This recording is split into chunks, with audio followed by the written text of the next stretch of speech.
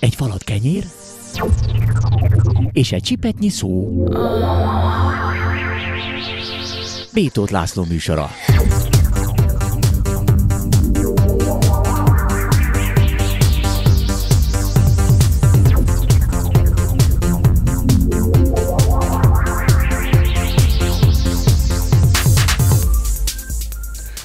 Köszöntöm a kedves nézőt. Besenyei Péter, a kiváló repülős a vendégem. Szerbusz Péter. Szervusz Laci. Hát ez nagyon összefoglalta magyar műrepülő, vagy repülő oktató és berepülő pilóta. Ebből a háromból mi az, amit még mindig végzem? Meg gondolom a műrepüléssel most már felhagytál, azzal nem, de a másik kettővel igen? Hát a műrepülést azt továbbra is aktívan végzem, főleg ilyen bemutatók kapcsán, többnyire külföldön, de itthon is. Az elmúlt év sajnos ugye elég laza volt a, a kialakult koronavírus helyzet miatt, elég sok bemutatót lemondtak, úgyhogy ez egy nagyon laza és nagyon szegényes év volt ilyen szempontból is, de egyébként majdnem minden hétvégén májustól októberig repülök valahol bemutatót, érsót, az oktatást igazából azt már nem végzem. Elég sokat oktattam, több tíz éven keresztül, ez, erre már nekem igazából nincs időm. A berepüléseket sem végzem ö, ö, főállásszerűen, de hogyha van egy olyan gép, amit be kell repülni, akkor még mindig vállalom. Tehát ez alkalmanként az én így csinálok ilyet. Az egy nagy felelősség berepülő pilótának lenni, meg hát nem tudod, hogy mit hoz a gép neked, mit, mit dobott ki fönt a, a, a, az égben fent. Az borzasztó nehéz. Hát azért nem egészen így van, ám egy berepülés uh, úgy néz ki, hogy a repülőgép a földön át van nézve. A legtöbb hiba már a földön kijön. Tehát a repülőgépnek a, a karosszériája, mondjuk a sárkányát át meg lehet vizsgálni, lehet látni a kormányok valóban működnek-e, értelemszerűen helyesen kitérnek-e, a motort el lehet próbálni a földön, ugyanúgy, mint a levegőben, tehát lehet látni, hogy a motor hogy működik, melegszik-e, vagy éppen van-e valami rendellenessége. Tehát igazából szinte minden hiba kijön a Földön is. Persze van, amikor nem, ezért a berepülőpilóta, hogy eh, egy olyan rutinos pilóta repüljön a repülőgéppel először, egy eh, akár új géppel, akár egy javítás utáni repülőgéppel, aki, aki hogyha bármi rendellenesség van, akkor nem ijed meg és tudja mi a dolga. Ráadásul a berepüléseket mindig a repülőtér fölött kell végrehajtani, mondtam miatt, hogyha valami hiba van, vagy éppen motorleállás, többször volt nekem ilyen berepülések során, akkor azonnal le lehessen szállni, mert mindig az a kérdés egy motor megállásnál, hogy van-e alkalmas leszálló terület alattam. Tehát az, hogy egy repülőgépnek megáll a motorja vagy a hajtóműve, és lezuhan, ez így önmagában nem igaz. Bármelyik repülőgép képes levitorlázni, lesiklani hajtómű vagy motor nélkül, amennyiben van a közelben alkalmas terület ezért kell a berepülést mindig a repülőtér fölött végrehajtani. Hogy legyen alkalmad leszállni adott esetben, hogyha éppen szükségeltetik. Amikor azt mondtam, hogy már a műrepüléssel felhagytál, én arra gondoltam, nem, nem, hogy a verseny, nem versenyeken nem indulsz már. Tehát azok az általad kitalált Red Bull versenyeken már az ott nem repülsz. Már csak azért sem, mert kb. az egész sorozat megállt. Tehát igazából én már öt éve nem repülök ebben a sorozatban, de sajnos két éve megállt a maga a sorozat is. Ennek te a keresztapja vagy ennek a Red Bull résznek? Hát az elejétől benne voltam a, a, a sűrűjében. alkotásában. Azt soha nem fogom elfelejteni, amikor először átrepültél a Lánchíd alatt. Az egy veszélyes mutatvány volt itt Budapesten az egyik versenyen? Nem versenyen volt, ez még 2000-ben pontosan 20 éve történt, egy filmstúdió felkérésére, tehát nem azért volt, hogy én, én szerettem volna megcsinálni, és jelentkeztem arra, hogy régi vágyom az, hogy, hanem egy, egy, egy stúdió kért engem erre fel, és én mondtam, hogy olyan képek kellettek, amikor ugye nem voltak még drónok, és csak olyan képek kellettek, hogy Budapest magasról és át a láncid alatt, és én mondtam, hogy simán meg lehet csinálni ezt, hogyha van rá engedély. Hát elég sok engedélyt kellett beszerezünk hozzá, Igazából az, hogy valami veszélyes vagy nem, ez mindig azon múlik, hogy ki, mikor, mit és mivel, és milyen hozzáállással csinál. Megfelelő rutinnal, megfelelő körültekintéssel, megfelelő alázattal megfelelő előkészülettel, megfelelő repülőgéppel vagy technikával ez a dolog nem veszélyes. Nyilván, hogyha valaki nem megfelelő hozzáállással, nem megfelelő rutinnal, nem egy jó repülőgéppel, nem egy jó időási viszonyok között próbálkozik vele, abból lehet baj. Tehát itt mindig az dönti el, hogy valami veszélyese vagy nem, hogy ki, mikor és hogyan csinálja. Egy repülőgép, amire te felszállsz, az nagyon sok ember vizsgálja, nézi, és próbálja kideríteni azt, ami esetleg hiba, és azt rögtön ki is javítják. Neked, mint, mint vezetőjének ennek a repülőnek, mi a feladatod? Neked is vannak olyan dolgok, amit csak te személyesen nézel át, és nem engeded mást oda, hogy ő vizsgálja meg? Tulajdonképpen ez úgy néz ki a gyakorlatban egy ilyen kis gépnél, hogy a napi üzemeltetést azt én végzem. Tehát igazából a, mondjuk egy verseny más. Egy én részen a versenyben, ott a szerelő állandóan ott van, ott minden felszállás előtt ő a gépet átnézi, tankolja és ellenőrzi, de egy normál használat közben, egy idézőjelben hétköznapi használatban a repülőgépet a szerelő naponta nem látja. Én, mint pilóta a gépet üzemeltetem, tehát én nézem meg, hogy van-e benne megfelelő mennyiségű olaj, a motorot lepróbálom, hogy a gyújtások stimmelnek-e, milyen a fordulatszám, nem ejtél valamelyik széria, átnézem a sárkányt, hogy a, nincs rajta valami mechanikai sérülés vagy elváltozás, ezt én is meg tudom csinálni, ez az én dolgom. Amennyiben ne talántán van valami hiba, tiga valami hiba, és olyan, amit én nem tudok megoldani, akkor jön a szerelő, akkor hibam, és akkor ezt megoldja. Tehát ő végül is szerel, de te fedezett fel adott esetben a hibát, és te mondod, hogy mit kell csinálni. Tulajdonképpen a napi használatban igen, igen. 15 éves korod óta repülsz, 20, több mint 22 éve vagy hivatásos pilóta, és túl vagy már bőségesen a 7000 repülő órán. Hogy lettél repülős? 15 éves korodban milyen repülőre ültél fel első, elsőként? hadd mondjam azt, hogy az adatok egy kicsit régebbiek, mert én most már 38 éve vagyok hivatásos pilóta, és a repülőtórák száma és időközben egy kicsit Kellene többet. frissíteni a... Közel, közel 9000 óra környékén járok. Én igazából 6 éves koromig nem láttam repülőgépet, és 6 éve addig vidéken éltünk szüleimmel, és 6 éves voltam, amikor a szüleim a Budaörsi repülőtér mellé költöztek, és én ott láttam először repülőgépeket, ráadásul ezek a gépek pont nőrepülőgépek voltak. Az akkori magyar csapat 1962-ben az akkor Budaörsön zajló világbajnokságra készültek, és ezt a felkészülést én gyakorlatilag a házunk kertjéből néztem végig, és megbabonáztak a, a pörgő, forgó, dugóhúzózó, osodó repülőgépek, és ettől kezdve én, ha tehettem, akkor reptér sarkából bámultam a gépeket. Mikor, egy, mikor ültél el, első, elsőre, mikor ültél repülőre, amit már te vezettél? Akkor hány éves voltál? Hát amikor először repültem, akkor még nem én vezettem, ugye oktatóval kellett repülni, Nyilván. 15 éves voltam, és rá egy évre, rá egy évre, 16 évesen volt lehetőségem repülni először egyedül, amikor már senki nem ült mellettem. Fantasztikus érzés volt.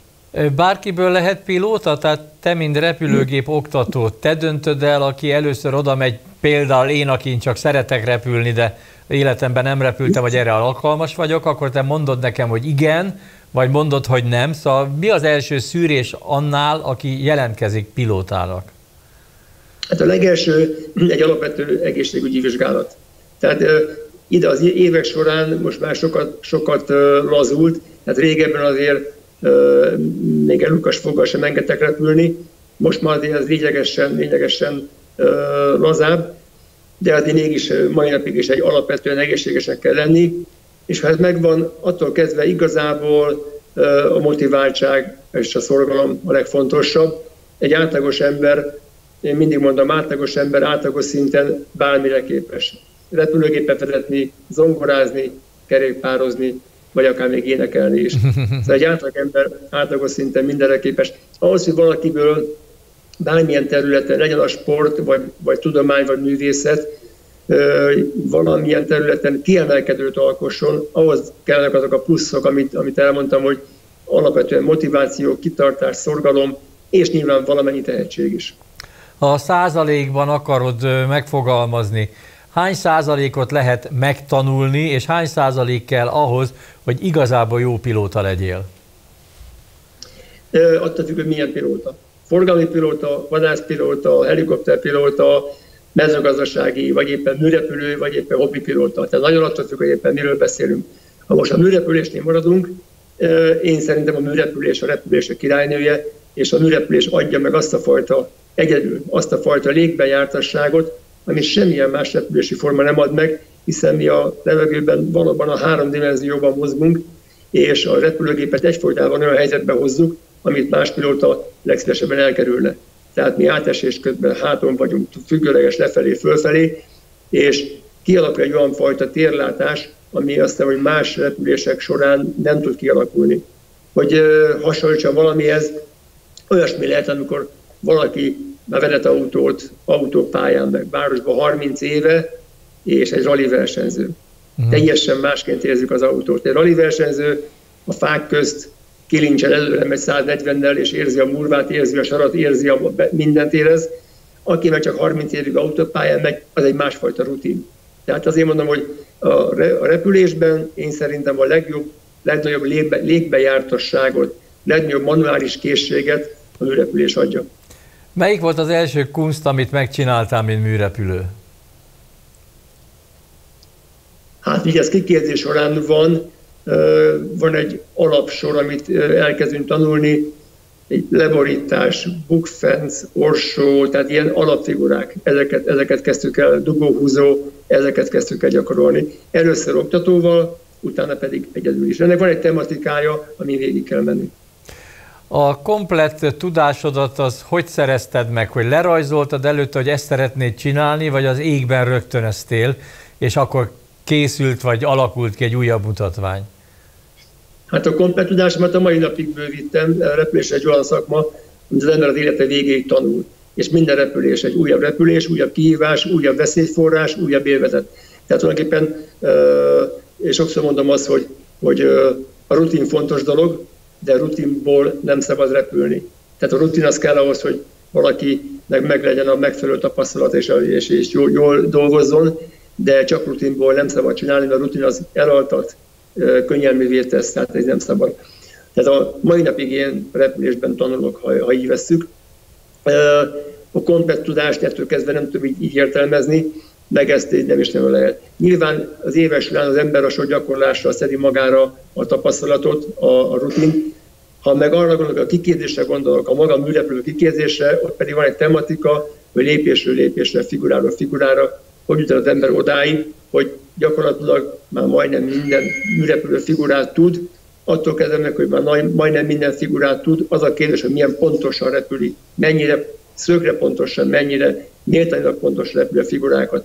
Ugye a műrepülésben nem a bátor emberek nyernek, hanem, hanem a, azok a pilóták, akik a gépüket a legjobban kezelik, a leg, legpontosabban repülnek. Tehát nem a bátorság számít, hanem a pontosság. Az pedig a gyakorlás, gyakorlás, gyakorlás. Kerültél már szorult helyzetben? Helyzetbe? Amikor hát, végül is a rutin volt, ami megoldotta a problémát. Hát volt, amikor bementem a kutyáimmal csónakkal, négy kutyával csónakkal, és majdnem elsüllyedtünk, szorult helyzet volt. De Na most nem erre gondoltam, ezt te is jól de tudod, hanem fönt az égben.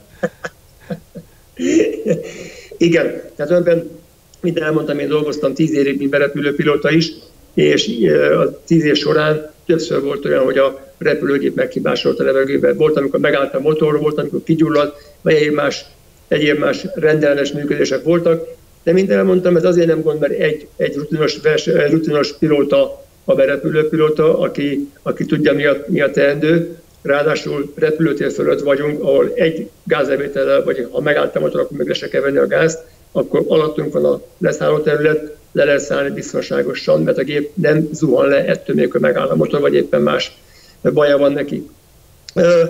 A szorult helyzet igazából akkor, akkor van, amikor nem egy ember repülés során, hanem amikor egy normál üzemi körülmények között az ember repülőtéren kívül mondjuk megáll a motor, és ott kell dönteni. Az már egy melegebb helyzet, mert eleve az ember nem készül rá, ráadásul nincs alattunk okvetlen olyan terület, ahol le lehet szállni.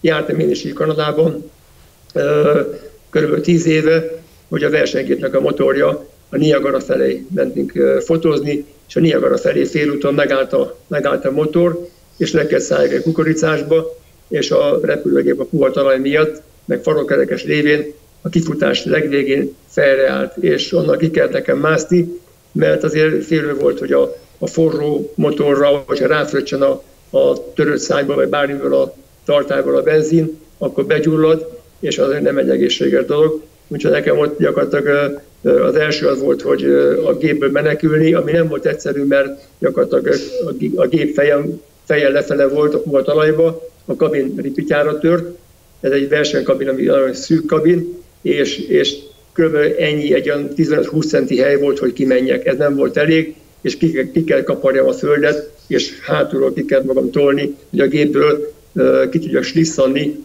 a lehető leggyorsabban. Tehát kb. fél percen belül kim voltam a repülőgépből, és szerencsére nem gyulladt ki a repülőgép. Az nagy szerencse. Mennyi üzemanyagot viszel fel, amikor egy bemutatót tartasz? Annyit, amennyi kell a bemutatóhoz, vagy pedig fel vannak törtve a tartályok? Ha megyek valahová, A-ból B-be, vagy akár külföldre, repülőgép tele van tankolva, ez megint típusra válogatja, általában van a gépben 200 liter üzemanyag, ami nagyjából elég három óra hosszára, ha utazóba repülök. Ha műrepülésről van szó, akkor repülőgép sokkal többet fogyaszt, akkor óránként fogyaszt 130 liter százas benzint, repülőbenzint. Egy bemutató az kb. 10-12 percig tart, és általában a repülőtérről szállok fel, vagy és repülőtér fölött hajtom végre, és szállok le. Ettől kezdve csak annyi van benne, amennyi kell, meg valamennyi tartalék. Ha már úgy csinálom a programot, hogy valahonnan felszállok, el kell menni valahová, ott repülni, és vissza is kell jönni, akkor egy kicsit többet a tartalék nyilván. Emlékszem, egyszer a Borokutján megkértél, hogy vigyelek le a repülőtérre, aztán Miskolc tájékán mondtam, el kell szaladod egy bemutatót tartani.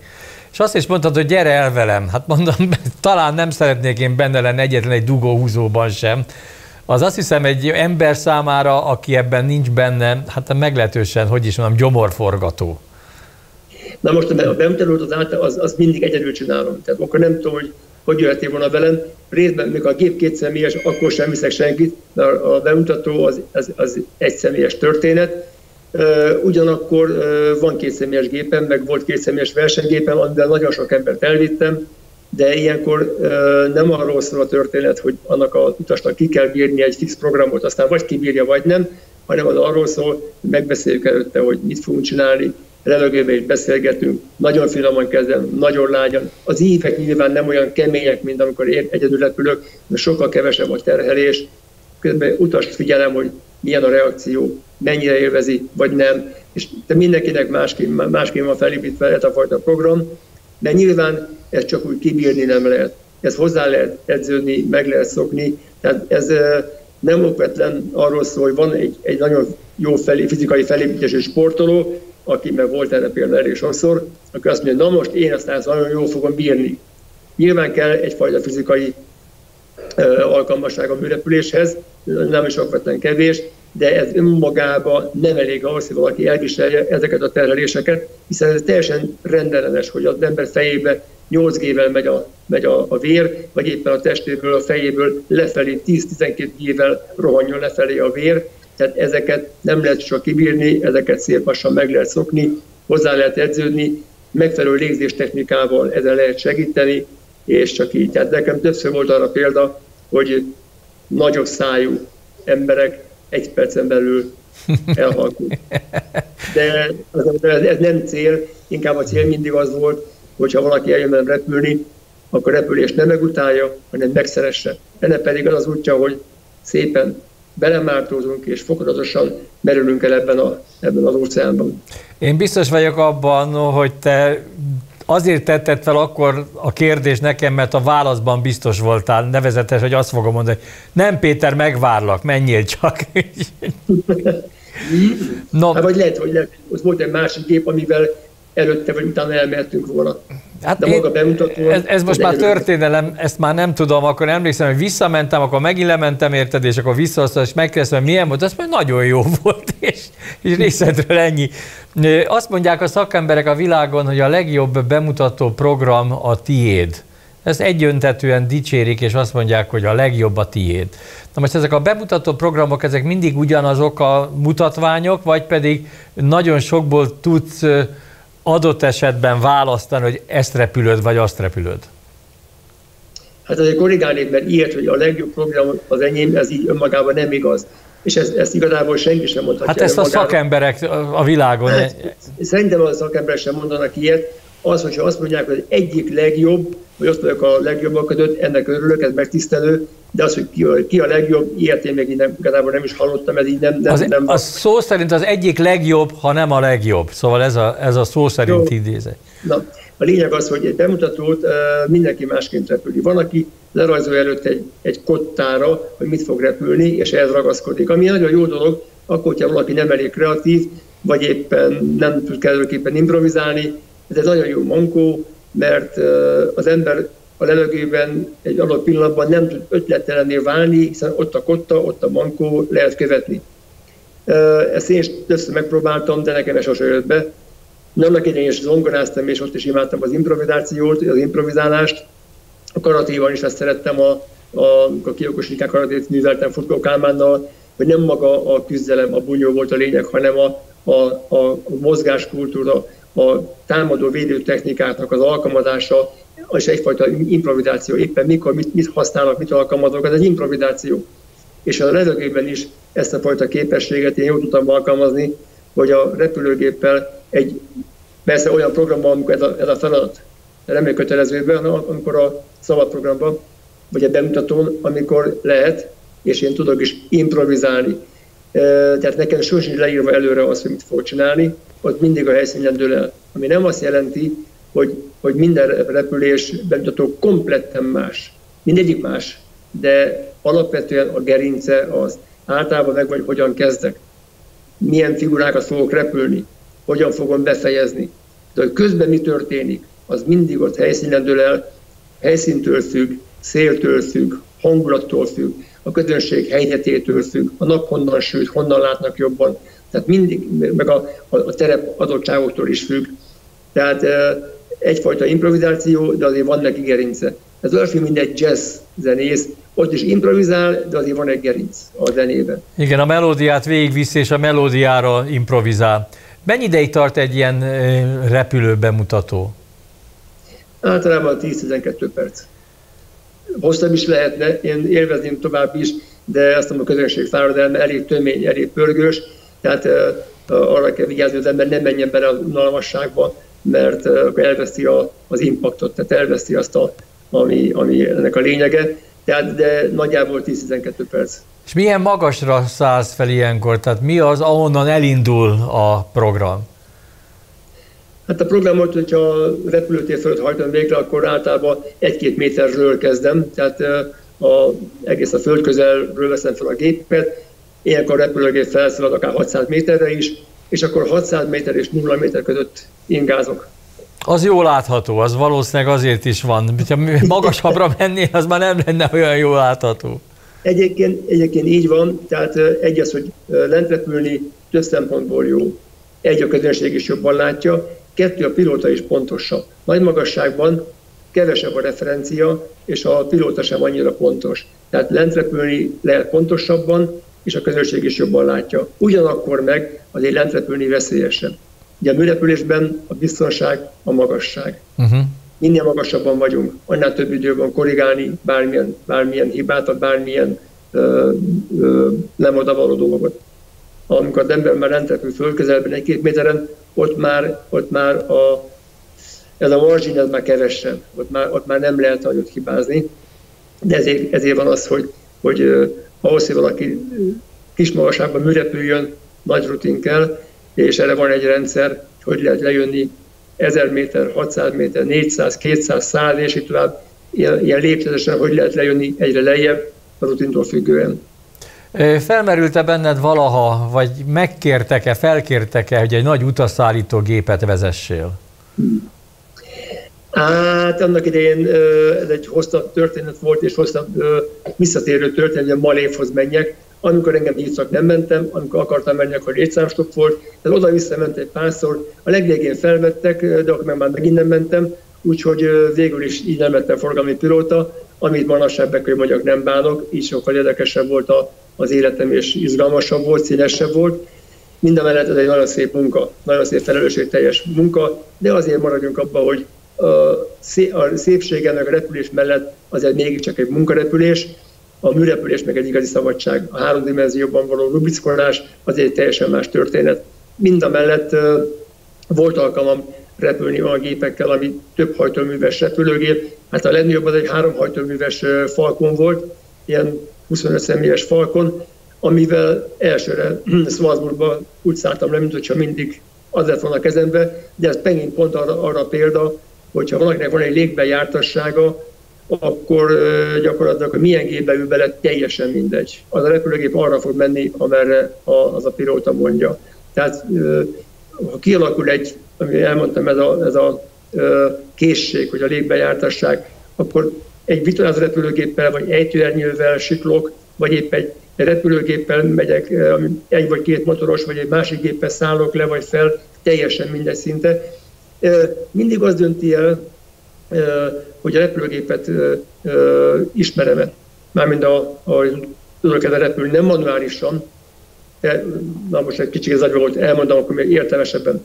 Hm. Tehát nekem az, egy, egy, ahhoz egy, egy, mondjuk egy boeing repüljek, vagy egy airbus repüljek, kellene egy kb. egy egy hónapos típus, típus átképzés. De minden egyéb más, ami kell hozzá, megvan nekem. Kellene egy típus átképzés, ami arról szól, hogy megismerjem a rendszereket. Hogy működnek a rendszerek a repülőgépen, hiszen minden gépen más és más.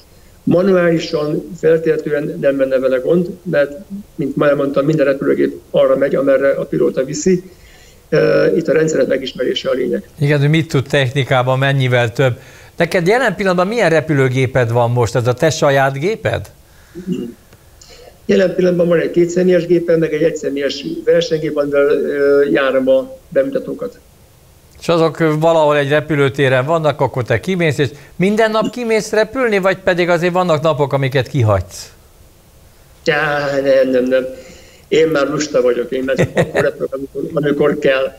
Ha van egy bemutató, akkor a repülőgépen megyek, ha nincs, akkor nem. Tehát igazából ez nem egy, nekem nem egy napi, napi szintű történet. A kis kétszemélyes géppel, hogyha olyan van, hogy valamelyik barátom vagy ismerősömnek van kedve repülni, akkor elmegyünk és repülünk egyet. Magamtól azt sem használom, mert uh, azt én 50 éve repülök. Szóval azért 50 év alatt repültem annyit, hogy magam, magam kedvére már nem okvetlen, akkor inkább elmegyek horgászni. vagy, zenét, vagy zenét hallgatok. Vagy zenét hallgatsz. Hát az is egy nagyon jó kikapcsolás. Ott, amikor fönt vagy, akkor nem nagyon lehet zenét hallgatni. Érdekes, volt olyan, volt olyan versenyünk több éven keresztül, a Műrepülő világkupa, ahol zenére kellett repüljünk. Mindenki vitte a saját zenéjét, és azt én rágyon keresztül kértem a földiektől, hogy na akkor music ready, music go vezényszavakkal indítsák el, és akkor zenére kellett repülni a szabad programot. Ez ment Japántól kezdve Kínáig, Amerikáig, nagyon sok helyszínen. Ezt szerencsére el is hoztam, meg is nyertem ezt a programot pont azért, mert részben van egy jó zenei készségem, részben meg imádok improvizálni, és az a kettő ebben a, ebben a programban nagyon sokat segített, mert a repülőgéppel szinte, szinte egy hangszer úgy, úgy használtam, és, és uh, repültem. Hát itt ebben a világkupában repültünk zenére, Egyébként meg zenész repülésködben nem lehet hallgatni nyilván, mert hangos, zajos, nem arra való. A zene inkább egy, egy csendes szobába, vagy épp, hogyha megyek valami járattal valahová, akkor egy felhallgató segítségével hallgatom a zenét, és az valóban már sokszor mondom azt, hogy műrepülni tudunk három, három dimenzióba, de a zene egy másik dimenzió, negyedik dimenzió. Kritikus vagy, amikor felülsz egy repülőre? Nézed, hogy mit csinál a pilóta? Gondolom nem mindig mész be a pilóta fülkébe, bár gyakran gondolom szívesen látnak, de kritikus vagy, hogy ez most jól csinálta, vagy rosszul csinálta? Te másképp csináltad volna a te vezeted? De onnan kezdem, hogy, onnan kezdem, hogy régebben volt erre lehetőség, hogy bemenjek a kabinban, meg azt be is hívtak. Azért az elmúlt jó pár évben, azt hiszem a szeptember 11 óta ez, ez már nem divat. Igen. Ez már nem, nem lehetséges. Egyébként meg eh, nyilván egy, egy forgalmi gép, hogyha most arról beszélünk, egy Persze. forgalmi gép mit csinál jól és nem jól, azt én hátulról, az utastérből nem fogom látni soha. Ha már onnan lehet látni, akkor már nagy baj van. Akkor már nagyon nagy baj akkor van. már biztos, hogy rosszul csinálta. Akkor, igen, azt nem lehet látni hátulról. Ha egy kisgéppel repülök, és mondjuk egy olyan kisgéppel, amiben csak ketten vagyunk, és én ott a, nem, a, nem a vezetőülésben ülök, akkor nyilván látom azt, hogy kinek milyen a készsége, de az autóval is így van. Valaki mellé beülsz, és egy perc lehet látni, hogy az autót ő hogy kezeli. Igen. Benne van a forgalomban, meg az autót érzi, vagy nem. Hát ez így van repülőgéppel is. Sajnos le kell... Ezért, Mondjad? De azért nyilván, hogyha nem olyan jellegű, akkor nem fogok rászólni. Nyilván. Ha növennék, akkor, akkor persze, akkor, akkor tanítom, de hogyha egy kollega, és látom, hogy hát én azért nem így csinálnám, akkor okvetően nem fogok neki szólni. Ha nagyon durva, akkor persze, akkor építő jelleggel mondom, de hát ez, ez nagyon ritka. Péter, sajnos le kell, hogy szálljunk ismét a földre. Köszönöm, hogy repülhettem veled itt, ha másképpen nem, az interneten keresztül. Köszönöm szépen a beszélgetést, és további sok sikert neked. Szia! Nagyon köszönöm, Maszi, örülök, és legközelebb ne csak repüljünk, hanem akkor beszélünk zenéről is, meg borozdunk, meg horgászunk, meg kutyázunk, meg autóversenyezzünk, annyi minden más van. Azért, azért egyszer én még elmennék veled a két személyessel. Biztos, ami biztos. Na, erről, erről beszélünk, és ígérem, hogy tetszeni fog. Lágy, szép élmény lesz. Na, Nagyon szépen beszélünk. köszönöm. Nagyon szépen köszönöm. Önöknek is köszönöm a figyelmet, kedves nézők. A viszontlátásra!